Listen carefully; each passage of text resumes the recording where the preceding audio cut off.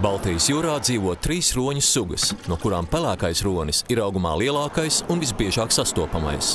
Pelēkā roņa mazulis ir augšanas rekordists. Katru dienu tas pieņemas svarā par pusotru kilogramu. Nav arī brīnums, jo roņu mātes piens ir 13 reizes traknāks par cilvēku mātes pienu.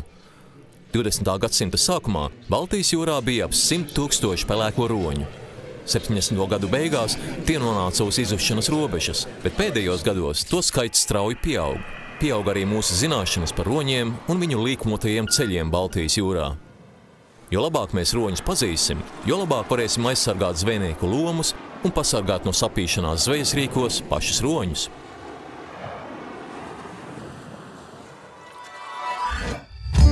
Ieraugi jūru!